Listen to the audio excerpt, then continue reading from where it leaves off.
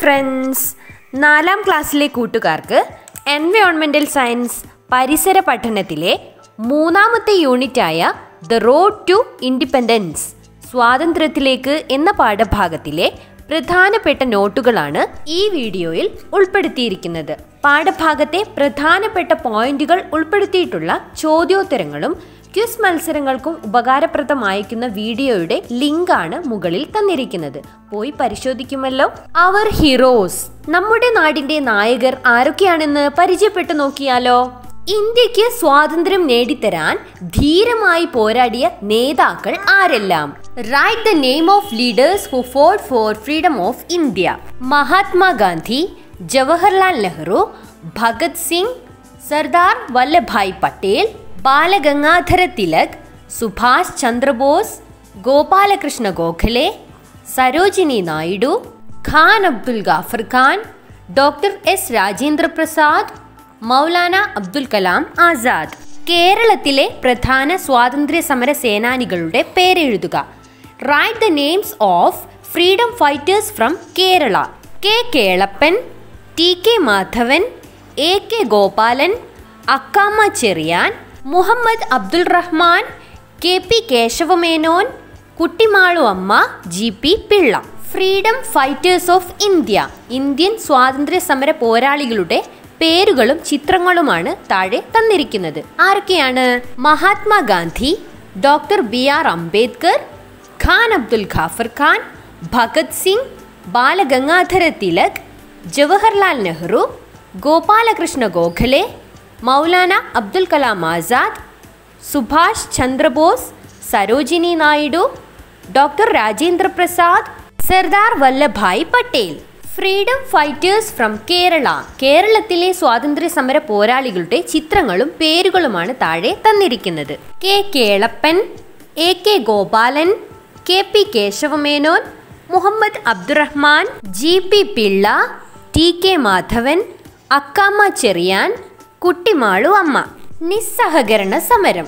Non cooperation movement Jallian വാലാബാഗിൽ നടന്ന കൂട്ടക്കൊലയ്ക്കെതിരെ രാജ്യമെങ്ങും പ്രതിഷേധം ഇരമ്പി.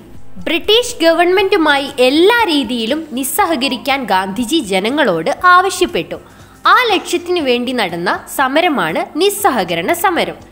ഖാദി പ്രചരിപ്പിക്കുക വിദേശ വസ്ത്രങ്ങൾ ബഹിഷ്കരിക്കുക ഹിന്ദി ഭാഷ പ്രചരിപ്പിക്കുക മദ്യം വർജിക്കുക തുടങ്ങിയ ആശയങ്ങളാണ് നിസ്സഹകരണ സമരത്തിലൂടെ ഉയർത്തിയത്. Gandhiji called for a country wide strike after the Jallianwala massacre he suggested a program of non cooperation to protest against the British government it was known as non cooperation movement the demands are promote khadi boycott the foreign clothes propagate the Hindi language avoid the use of liquor Chauri Chaura സംഭവം. Chauri Chaura incident ആയിരത്തി തൊള്ളായിരത്തി ഇരുപത്തിരണ്ട് ഫെബ്രുവരി അഞ്ചിന് ഉത്തർപ്രദേശിലെ ചൗരി ചൗരായിൽ വെച്ച് നിസ്സഹകരണ പ്രസ്ഥാനത്തിന്റെ ഭാഗമായി നടന്ന ഒരു ജാഥയിൽ പങ്കെടുത്ത ആളുകൾക്കെതിരെ പോലീസ് വെടിവെക്കുകയും തുടർന്ന് ജനക്കൂട്ടം പോലീസ് സ്റ്റേഷൻ ആക്രമിച്ച് തീയിടുകയും ചെയ്തു. ഈ സംഭവമാണ് ചൗരി ചൗര സംഭവം എന്ന പേരിൽ ഇന്ത്യൻ ചരിത്രത്തിൽ അറിയപ്പെടുന്നത്. ഈ സംഭവത്തിൽ മൂന്ന് സിവിലിയന്മാരും ഇരുപത്തിരണ്ട് പോലീസുകാരും കൊല്ലപ്പെട്ടു. The Chauri Chaura incident to place on fifth February nineteen twenty two at Chauri Chaura in the modern Uttar Pradesh in British India when a large group of protesters participating in the non cooperation movement clashed with police who opened fire In retaliation, the demonstrators attacked and set fire to a police station, killing all of its occupants. The incident led to the death of three civilians and 23 policemen.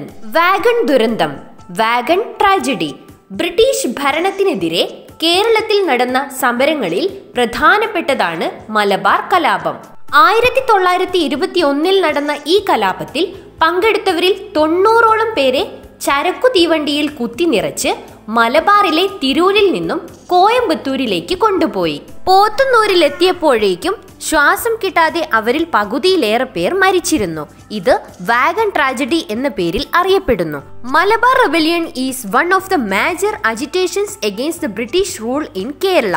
this rebellion that broke out in 1921.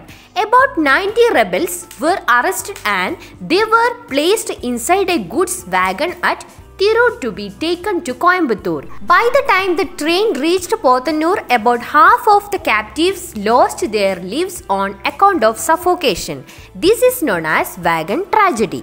Jallianwala Walabagh കൂട്ടക്കൊല ജാലിയൻ വാലാബാഗ് മാസക്കർ ആയിരത്തി തൊള്ളായിരത്തി പത്തൊൻപത് April പതിമൂന്നിന് പഞ്ചാബിലെ അമൃത്സറിലെ ജാലിയൻ വാലാബാഗ് മൈതാനത്ത് ബ്രിട്ടീഷുകാരുടെ ക്രൂരമായ Rowlatt നിയമത്തിനെതിരെ ഒരു പ്രതിഷേധ യോഗം നടക്കുകയായിരുന്നു.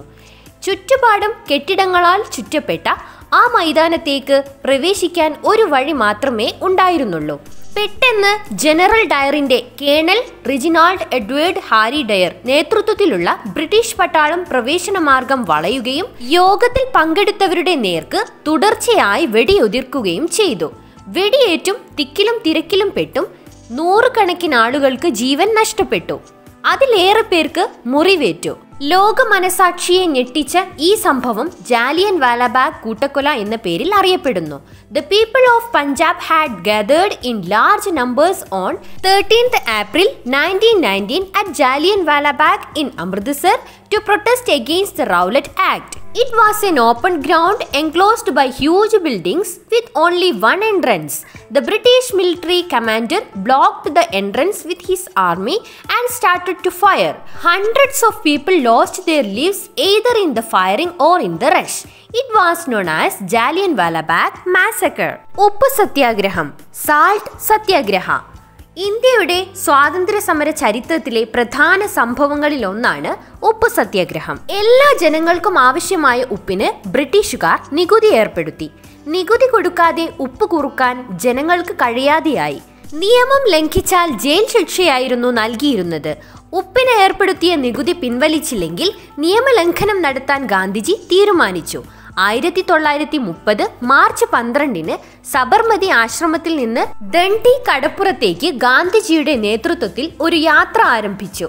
നിയമം ലംഘിച്ച് ഗാന്ധിജിയും കൂട്ടരും ഒപ്പുകുറുക്കി. ബ്രിട്ടീഷ് ഭരണത്തിന് കീഴിലെ ജനദ്രോഹ നടപടികൾക്കെതിരായുള്ള ശക്തമായ പ്രതിഷേധമായിരുന്നു ഉപ്പു സത്യാഗ്രഹം. Salt Satyagraha is one of the important incident during the India's freedom struggle. During the British rule in India, the British government imposed heavy tax on salt.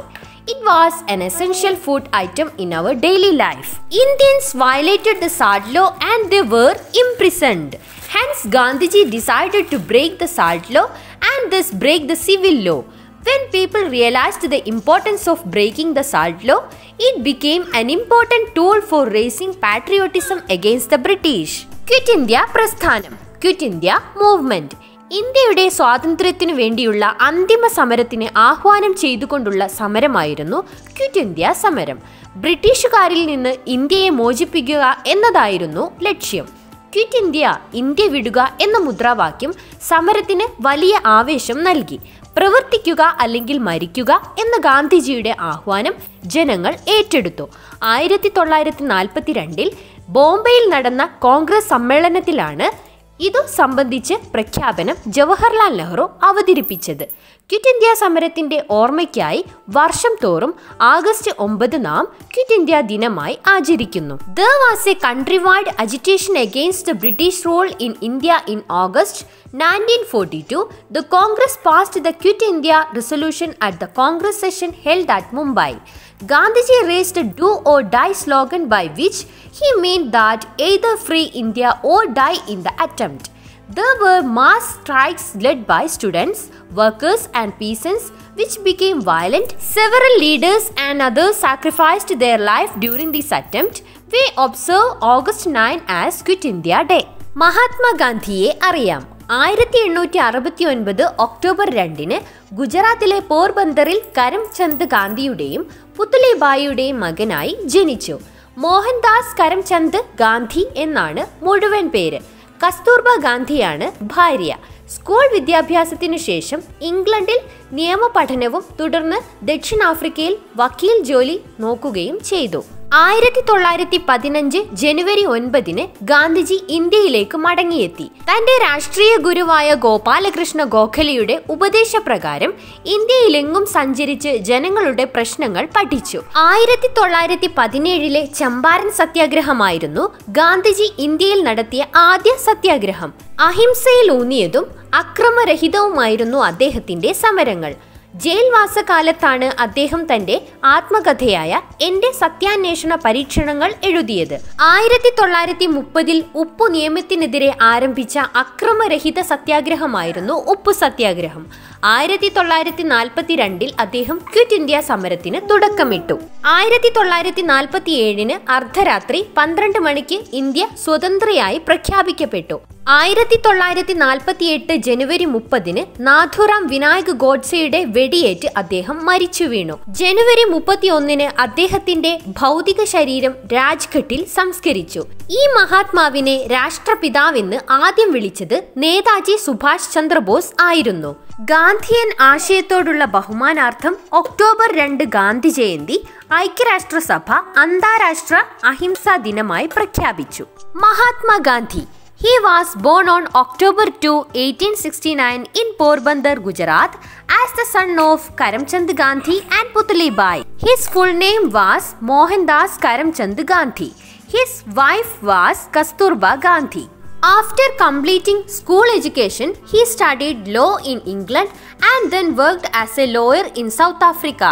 Gandhiji returned to India on January 9, 1915. On the advice of his political guru Gopalakrishna Gokhale, he travelled all over India to study the problems of the people. The Champaran Satyagraha of 1917 was Gandhiji's first satyagraha in India. His struggles were based on non-violence. During his days in jail, he wrote his autobiography, My Experiments with Truth. The Salt Satyagraha was a non-violent satyagraha started in 1930 against the salt law. In 1942, he started the Quit India movement.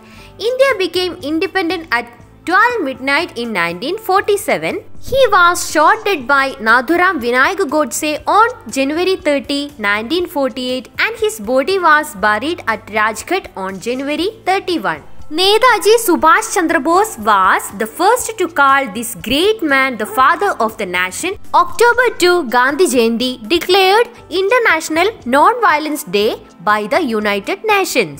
കുറിപ്പ് തയ്യാറാക്കുക write a short note Champaran സത്യാഗ്രഹം ബീഹാറിലെ ചമ്പാരനിലെ കർഷകരുടെ പ്രയാസങ്ങൾ പരിഹരിക്കാൻ ഗാന്ധിജിയുടെ നേതൃത്വത്തിൽ ആയിരത്തി തൊള്ളായിരത്തി പതിനേഴിൽ നടന്ന സമരമാണ് ചമ്പാരൻ സമരം. ഗ്രാമത്തിലെ കർഷകരോട് തോട്ടമുടമകളായ ബ്രിട്ടീഷുകാർ അവർ കൃഷി ചെയ്യുന്ന ഭൂമിയുടെ കുറെ ഭാഗത്ത് നീലം കൃഷി ചെയ്യുവാനും ബ്രിട്ടീഷുകാരായ തോട്ടമുടമകൾ നിശ്ചയിക്കുന്ന വിലയ്ക്ക് അവ വിൽക്കുവാനും നിർബന്ധിച്ചു. അതോടെ കർഷകർ വലിയ കടക്കണിയിൽ അകപ്പെട്ടു. ഇതറിഞ്ഞ ഗാന്ധിജി സമരത്തിൽ ഇടപെടുകയും സത്യാഗ്രഹ സമരത്തിലൂടെ കർഷകരുടെ പ്രശ്നങ്ങൾ പരിഹരിക്കുകയും ചെയ്തു the Champaran Satyagraha The Champaran Satyagraha was organized in 1917 under the leadership of Gandhiji to solve the problems of the farmers of Champaran in Bihar. The British, the landowners, forced the village farmers to cultivate indigo on most of the land they were cultivating and to sell it at a price set by the British landlords. As a result, the farmers fell into a huge debt trap. Knowing this, Gandhiji intervened in the agitation and solved the problems of the farmers through the Satyagraha agitation. Kheda സത്യാഗ്രഹം ആയിരത്തി തൊള്ളായിരത്തി പതിനെട്ടിൽ ഗുജറാത്തിലെ ഖേഡ ജില്ലയിൽ കൃഷി നശിച്ചു എന്നാൽ ഭൂനികുതിയിൽ ഇളവ് നൽകാതെ മുഴുവൻ തുകയും അടയ്ക്കണമെന്ന് ഗവൺമെന്റ് നിർബന്ധിച്ചു. നികുതി ഇളവ് നൽകുന്നതുവരെ നികുതി നൽകരുതെന്ന് ഗാന്ധിജി കർഷകരോട് നിർദ്ദേശിച്ചു. തുടർന്നുണ്ടായ സമരത്തിൽ നികുതി നൽകാൻ കഴിവുള്ള കർഷകരിൽ നിന്നേ അത് വസൂലാക്കാവൂ എന്ന ഗവൺമെന്റ് ഉത്തരവിനെ തുടർന്ന് സമരം പിൻവലിച്ചു. Kheda Satyagraha. In 1918, agriculture was destroyed in Kheda district of Gujarat, but the government insisted on paying the full amount without giving a land tax deduction. Gandhiji advised the farmers not to pay tax till the tax relief is given. The strike was called off following a government order to collect taxes from farmers Ahmedabad തുണിമിൽ സമരം. ആയിരത്തി തൊള്ളായിരത്തി പതിനെട്ടിൽ അഹമ്മദാബാദിലെ മില്ലുടമകളും തൊഴിലാളികളും തമ്മിലുള്ള തർക്കത്തിൽ ഗാന്ധിജി ഇടപെട്ടു. മുപ്പത്തി അഞ്ച് ശതമാനം വേതന വർധനവ് ആവശ്യപ്പെടാൻ ഗാന്ധിജി നിർദ്ദേശിച്ചു. തൊഴിലാളികളുടെ സമരത്തെ ശക്തിപ്പെടുത്താൻ മരണം വരെയുള്ള നിരാഹാര സമരം അദ്ദേഹം ആരംഭിച്ചു. ഇത് മില്ലുടമകളെ സമ്മർദ്ദത്തിലാക്കുകയും നാലാം ദിവസം തൊഴിലാളികൾക്ക് മുപ്പത്തി അഞ്ച് ശതമാനം വേതന വർധനവ് നൽകാൻ സമ്മതിക്കുകയും ചെയ്തു.